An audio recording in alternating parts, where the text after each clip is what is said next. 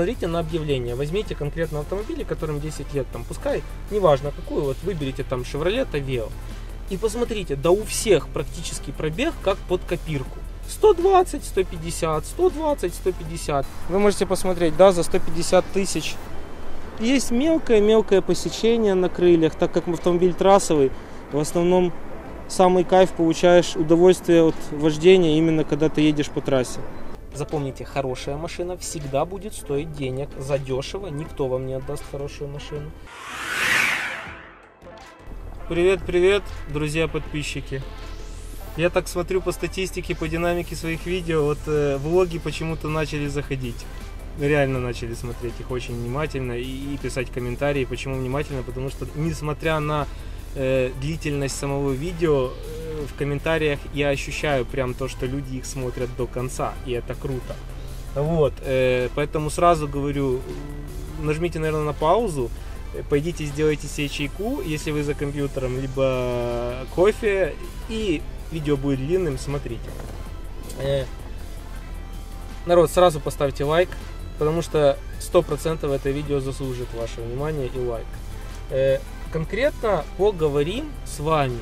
Я хочу в этом видео вас научить. Не просто так я буду это рассказывать, что-то снимать. Я вас действительно хочу научить, поэтому смотрите максимально будьте внимательны и не пропускайте мелочевку, потому что из этих вот мелких нюансов, деталей строится общая картина. Во всем абсолютно и везде так. Э, сегодня мы с вами поговорим о пробеге. Это очень будет интересно. Почему? Потому что я сужу, все знают, чем я занимаюсь, да, те, кто меня смотрит, я занимаюсь автоподбором, кто видит первый раз меня. Поэтому э, то, что я стыкаюсь с разными автомобилями на разных этапах конкретно жизни любого автомобиля. И вижу эти машины с разными пробегами, начиная вот только когда она выезжает с салона, заканчивая, когда у машин пробеги там 500, 600, 800 тысяч. У меня есть такие клиенты, которые ездят и счастливые, и все хорошо. Поэтому кому как не мне понимать как минимум, как вы любите, по косвенным признакам, как вообще должна выглядеть машина на конкретном пробеге. Вот, почему это важно, пробег. Потому что э, очень много, ну, конкретно вот эта вся тема, я вот эту демагогию сейчас развожу. Потому что э, практически каждый, практически, я подчеркиваю, не каждый, практически каждый человек из моих клиентов, когда он хочет, э, когда пишет какие-то определенные критерии для поиска, для нашей работы поиска автомобиля, все почему-то э, из этих вот не всех, а выбранных, выборочных людей хотят маленький пробег. Э, это э, условие диктует и рынок. То есть, если вы посмотрите, зайдите на то же Автория, посмотрите на объявление, возьмите конкретно автомобиль, которым 10 лет, там, пускай, неважно какую, вот выберите там Chevrolet Aveo, и посмотрите, да у всех практически пробег как под копирку. 120, 150, 120, 150. Ни у кого нету 300, 400, 500. Это что, получается, эти машины столько не проезжают? Ну, плохие, значит, машины, да? Или как? Нет, на самом деле э, условия, условия вот этого вот пробега диктует сам покупатель. И большинство продавцов э, которые недобросовестные, перекупщики, которые на этом зарабатывают, это их, их, их не хлеб, взять машину с пробегом 300, сделать там 150, это же святейшее, и на этом заработать, продать. Вот, э, они берут и скручивают этот пробег. То есть, по факту, на самом деле, большинство тех машин, которые вы видите с пробегом 150, на них уже за 250. Это я вам говорю реально, как оно есть. Вот, э, почему скручивают? Да потому, чтобы люди, ну, типа, не боялись. Многие люди э, боятся этого пробега.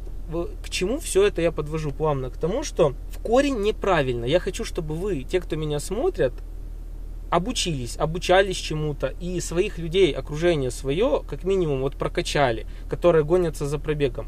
В корень неправильно, еще раз, э, когда люди выбирают БУ, подчеркиваю, БУ автомобиль, и э, смотрят на три, они покупают машину цифрами, смотрят на три вещи. Первое это стоимость автомобиля, второе это год и третье это пробег вот три вот этих вот вещи, это вообще, это да, конечно же, в комплексе все, каждая из этих э, вещей, каждый из этих пунктов должен присутствовать в комплексе. Но, по сути, когда вы берете БУ автомобиль, Никто об этом не думает, никто почему-то об этом не говорит. Э, умные люди это и так знают, но я доношу это всем в массы, чтобы те люди, которые думали так, как я до этого рассказал, они тоже поменяли свое мнение. Первое, на что нужно смотреть всегда при покупке БУ автомобиля, это исключительно и только его состояние. Ребят, состояние в комплексе, и в комплексе уже должна, должны присутствовать те пункты, как пробег, э, там, допустим, год выпуска автомобиля и стоимость, естественно. Вот, но это все должно присутствовать в комплексе, а не так, что вот типа пробег 120, год там 2010, цена сладкая, все забираю. Это в корень неправильно так покупать БУ автомобиль, потому что по итогу вы можете попасть ну, на хорошее вложение. Как минимум после покупки машины четверть суммы можете туда пожертвовать. Вот, это абсолютно, ну, абсолютно. То есть и от этого никто не застрахован, если вы в этом не разбираетесь. Я не навязываю сейчас, что идите в автоподбор, пускай вам люди ищут, э, вы за это платите деньги. Нет, вы должны в себе переломать вот этот момент пробега. Э, вот я сейчас на примере своей машины хочу вам объяснить. Вот я сижу в автомобиле с, с пробегом 150 тысяч. Родной пробег абсолютно. То есть Машина вся, без исключения, абсолютно в родном окрасе, кроме пластика. То есть передний бампер, задний бампер и э, так называемая листва, но это на внедорожниках. Э, ну, здесь оно выглядит как листва, молдинги дверные, они потому что широкие, вот пластиковые накладки, они красились. Ну, это пластик, то есть это не есть плохо. И все люди, которые понимают, они должны знать, что покупая был автомобиль, если крашеный бампер э, один, два, то можно сказать, что это ничего не крашено, потому что это пластик, э, бампер э, это такая штука, которая получает, особенно передний, все на себя. Весь удар, все зло, окружающие среды, камни, все. То есть, поэтому это не есть плохо, это не есть беда. Особенно, когда автомобилю, как моему, 2008 год, на данный момент ему уже 11 лет, пошел 12 год. Вот. То есть 150 тысяч пробега родного. Э, машина не крашеная. Э, это 3 литра дизель. Подчеркну это. В дальнейшем я объясню, почему это подчеркну. 3 литра дизель, 2008 год, 150 тысяч пробег. Э, по автомобилю ничего не перетягивалось. То есть абсолютно все родное. То есть родная обшивка, родное, родные сиденья, кожа. Э, никто ничего не перешивал. Вот прям вообще, ну вот все родное. Э, состояние, ну я вам сейчас вот покажу, так, в подробностях. То есть я вот специально даже для этого достал телефон свой, и на iPhone поснимал в макро, потому что камера, на которой я снимаю сейчас влог, вот, она в макро вам не передаст эту картинку, э, чтобы вы просто для себя понимали, вот как выглядит автомобиль на такой пробег. Смотрите, я заглушу, чтобы не полить. Знаете, в чем прикол 8? Я в своих видео рассказывал. Вот послушайте. Слышите, да? Дует. Несмотря на то, что машина заглушена, дует, потому что в люке встроена солнечная батарея. Но не во всех комплектациях, а 8 в кузове D3 это было. Э, я немножко забегу наперед. Это на чипе автомобиль 330 сил, э, Stage 1, э, с вырезанным сажевым фильтром, с прошитыми мозгами. Вот, 500 крутящего. То есть она едет. Это кватро, а 8 были кватро только. Вот в кузове D3 других не существовало. Поэтому кому интересно более подробно узнать, будет отзыв владельца. Вы, главное, подпишитесь на этот канал. И там я все вам максимум расскажу про эту машину абсолютно. Не как э, человек, который взял покататься на недельку, а как реальный владелец, который на ней ездит. И действительно про эту машину знаю все. Расскажу стоимость содержания, стоимость обслуживания, по поводу запчастей, по поводу всех этих нюансов. Всю информацию вам подам на блюдечке. Но это было небольшое лирическое отступление. Э, давайте покажу, как она выглядит. Давайте начнем с кузова, да? Смотрите. По автомобилю ничего не красилось. Я могу вам толщиномером показать, он у меня всегда с собой. Пару раз, пару раз клацну. Полностью вся машина, абсолютно вся из алюминия. В проемах аналогично алюминий. То есть магнитом, если вы будете пытаться что-то прозвонить, у вас ничего не получится. Вот так вот. Вы можете посмотреть, да, за 150 тысяч. Есть мелкое-мелкое посечение на крыльях, так как автомобиль трассовый. В основном самый кайф получаешь удовольствие от вождения именно когда ты едешь по трассе. на больших скоростях. Машина едет, для нее 200, это вот крейсерская скорость, абсолютно нормально. По ощущениям, как вот на Ланосе едешь 90, то же самое.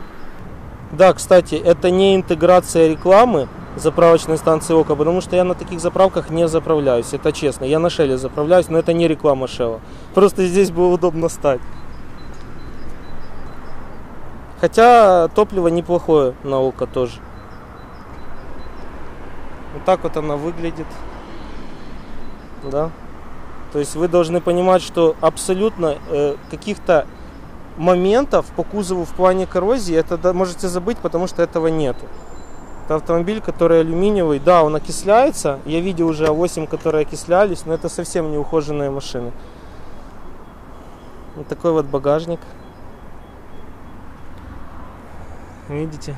Ничего не... Я к чему это все показываю? Давайте вернемся обратно в разговоре к тому, чтобы вы понимали, что вот 150 тысяч пробега, вот как она выглядит.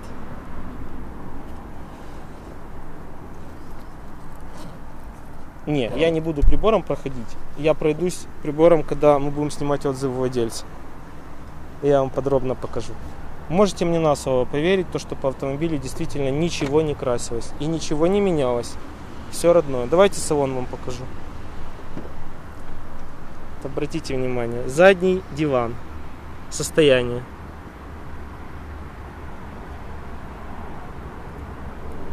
Я просто на моечку заехал, ее сполоснул, чтобы она красивая была в кадре. Вот есть небольшое повреждение на сидении. Маленькое. Все. Вот потолочек, кому интересно.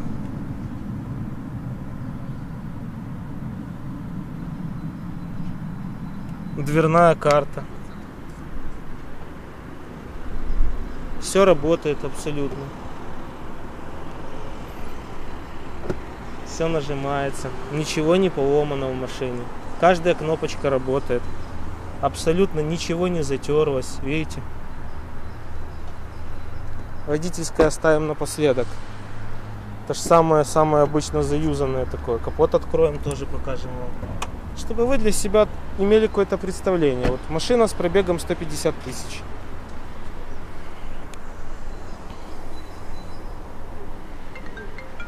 Вот, обратите внимание. Телефон, но мы его выключим. 3 литра дизель, как я говорил, на чипе. Машина валит, она реально едет.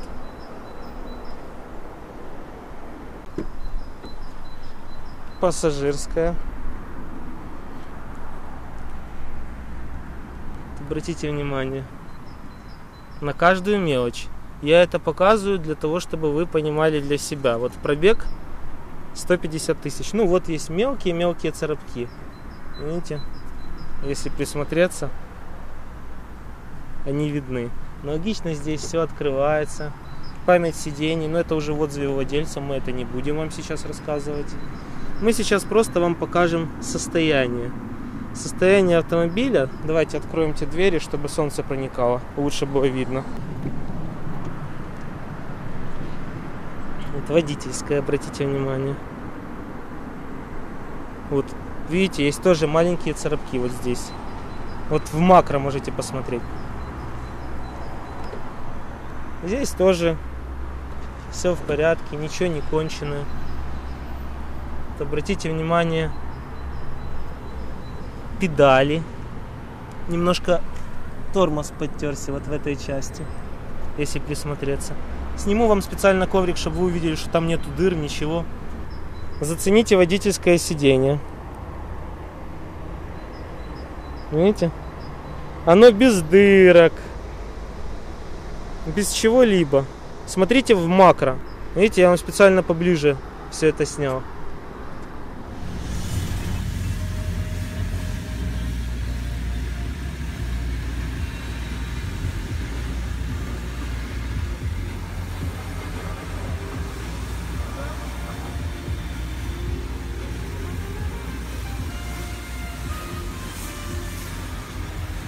Руль.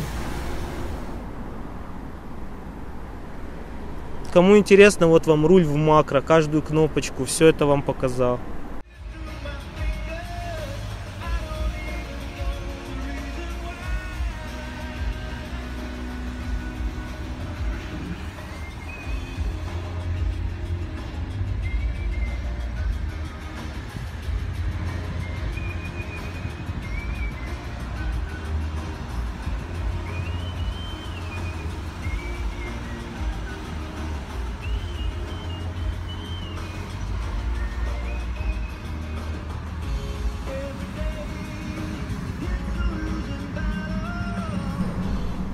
Вот эта вот часть. Обратите внимание, обычно на пробегах больших вот это все вытирается, все вот эти кнопочки на климате.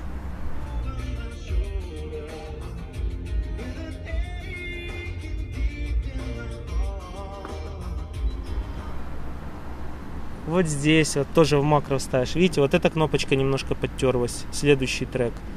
И вот это в меню. Вот эта вот часть немножко подтерлась.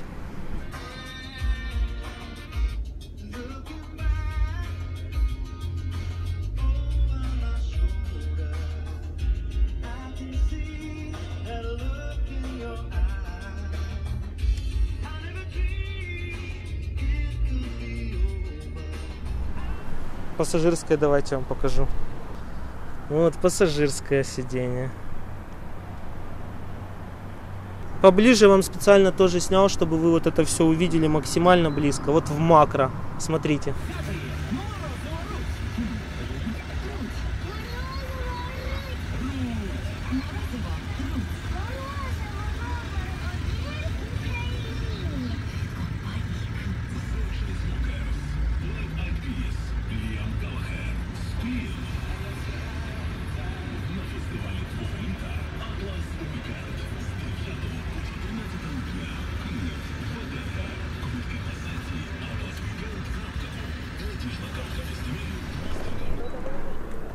Видели состояние автомобиля? А теперь смотрим дальше. Видно все, да?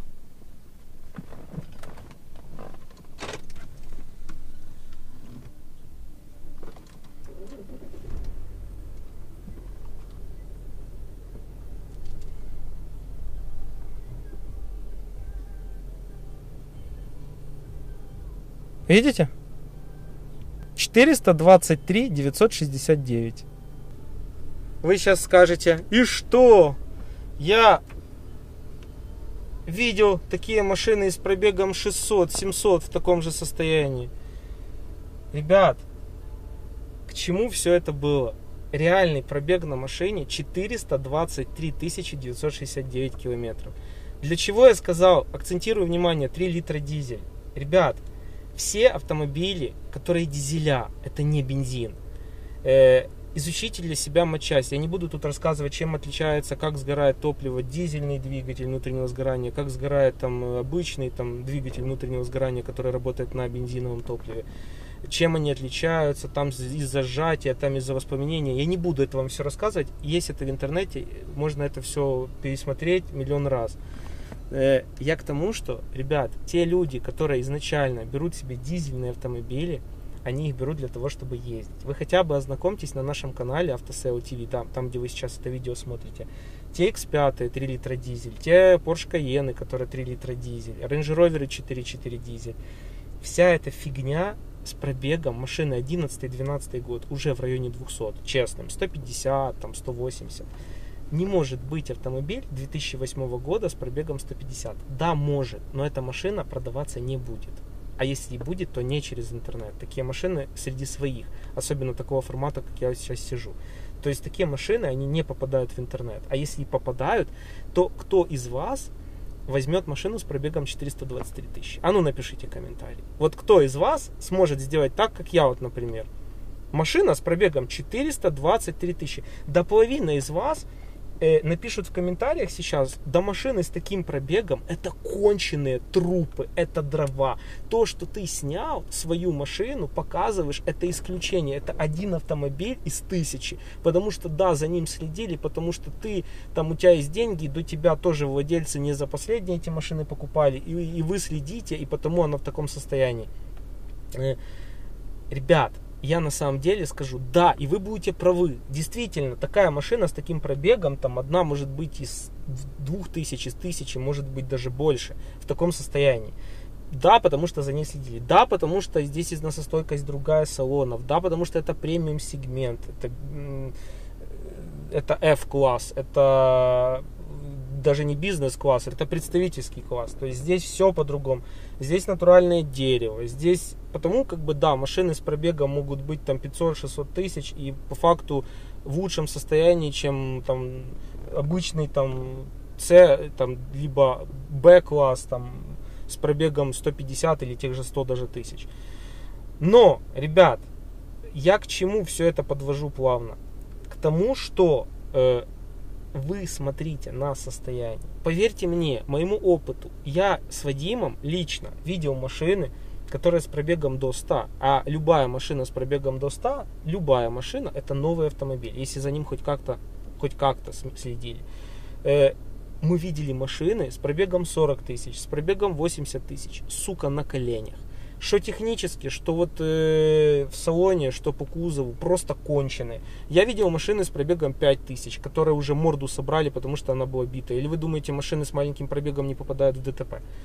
Э, здесь не смотрите на пробег, не смотрите на год. Э, если у вас дофига денег, смотрите на годы, на пробег. Но те люди, которые меня смотрят, Э, большинство из вас э, люди обычные, простые, такие, как и я, у которых там, ну, нету столько денег, что ты берешь лопаты их выкидываешь сока. То есть смотрите прежде всего на состояние. Состояние машины это очень-очень, повторюсь, очень важно. Состояние в первую очередь очень много из вас попадают на чем? На том, что цена чуть ниже рынка, автомобиль свежий и нарисованный на одометре маленький пробег. То, что я вам в начале видео заливал, 150 тысяч. Да не бывает А8, не бывает, их не продают, дизелей. 4.2 бенз бывает, да, но они нахрен никому не нужны. Но машина 2008 года, это машины, на которых люди ездят. И вы скажете, да брат, 423 тысячи, ты что, больной, ты конченое уже ведро с гайками. Нет, на этой машине абсолютно все технически исправно. Да, есть моменты, да, есть вопросы. Кому интересно, вот зайдите в Instagram Автосео ТВ А8 хэштег. Посмотрите, все, что по этой машине происходит, я все выкладываю. Кто еще не подписался в инсту, давайте подпишитесь. Пневма. Ребят, оригинальная пневма. То есть предыдущий человек просто поставил новую пневму. Просто новую оригинальную пневму. На секундочку, один баллон там обходится там в районе 30 тысяч, 36 тысяч гривен. Одна пневмостойка. Новая. Вот, вот как отличить пневму? Вот я вам сейчас покажу тоже для кого, кто в курсе. Кто не в курсе, будет знать. Заходим в кар, выставляем лифт, нажимаем. Вот она сейчас поднимается. Я выйду.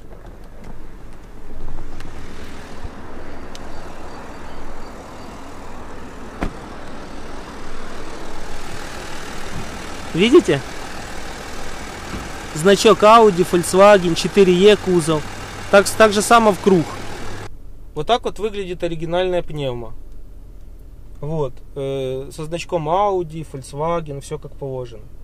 Очень часто, когда перебирают пневмобаллоны, меняют рукава, там вот этот уже сам кожух металлический, как колба защитная, которая защищает пневмобаллон, она уже не будет э, с этим значком. Если даже вы приклеите это, но все равно будет видно, что это не родное. То есть, ребят, 3 литра дизель, что такое? Это я не рекламирую свою машину, не пытаюсь ее кому-то продать, я ее вообще не продаю.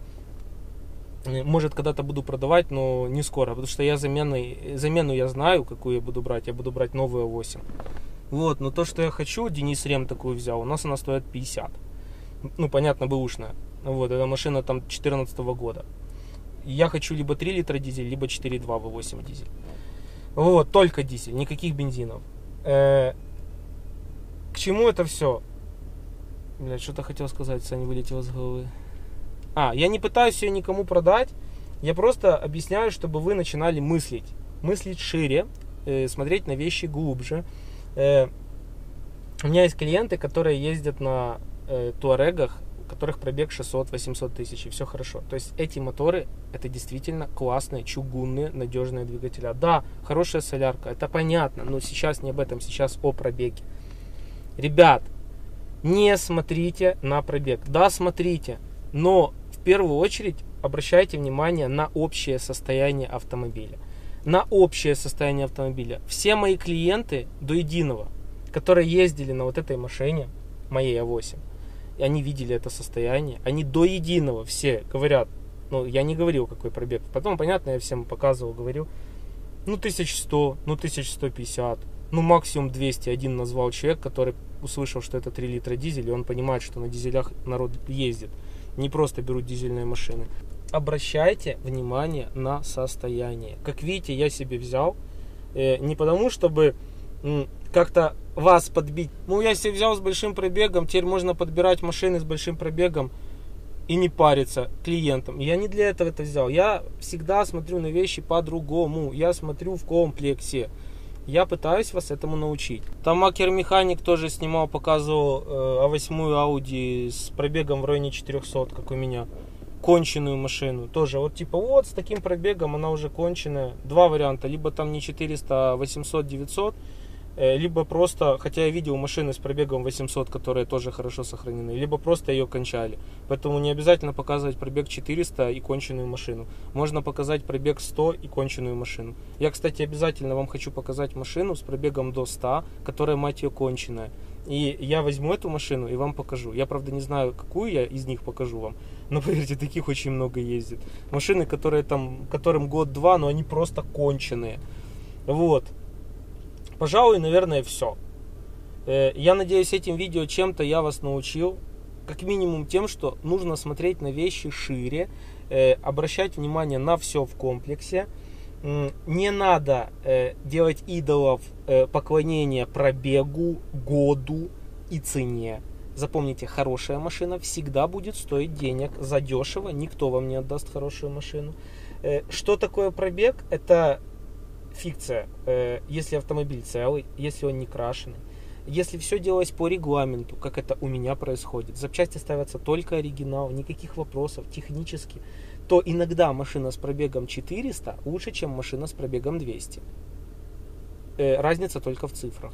Э, много машин видел с пробегом 400 лучше, чем машины многие с пробегом до 100. Во всех смыслах, и технически, и по кузову, во всех смыслах. Поэтому поделитесь этим видео с теми людьми. У вас их таких полно, которые все равно говорят, ой, я вот с пробегом 80 взял хорошую машину, а по факту 180. Или я нашел вот 3 литра дизель с пробегом 150, а по факту 550. Э, вот поделитесь с такими. Пускай они тоже посмотрят и ну, что-то для себя возьмут, какой-то урок полезный. Потому что обманывают. Везде один обман. Очень мало честности, порядочности. А я честный человек и порядочный. Я не хотел показывать, я год езжу на этой машине, я не хотел показывать вам этот пробег. Я хотел это все сделать в отзыве владельца. Но не выдержал, решил, показал. Э, я горжусь, что он такой. Я горжусь, что он честный. И вот такое вот состояние машины. И наблюдайте, да, эта машина не продается, эта машина у меня будет долго и нудно ездить. Я, у меня в планах вообще накатать лям. Я никогда в жизни не наезжал миллион. У меня не было автомобиля, на котором бы я увидел вот цифра миллион. На это я хочу это сделать. Мне она приятная и кайфовая. И я не знаю, что помешает это сделать, но в, в планах я очень это планирую и хочу сделать. Поэтому ставьте лайк, подписывайтесь на канал. И да, и спасибо вам, те, которые написали люди, типа, мол, Вань, не снимай больше одной рукой, не держись за руль. Видите, слушаюсь вас. Но не всегда буду иногда снимать, просто вот в этом случае стал, чтобы вот рассказать на месте. Чтобы вы не переживали, что я езжу с одной рукой по Киеву. Вот, э, подписывайтесь на канал, ставьте лайки. Напишите в комментариях, какие темы затронуть. Э, пробег затронул. Э, как видите, это не основа. Да, это критический момент при покупке автомобиля, но это не основополагающий пункт выбора. Поэтому пока-пока, лайк с вас, подписка и до новых встреч.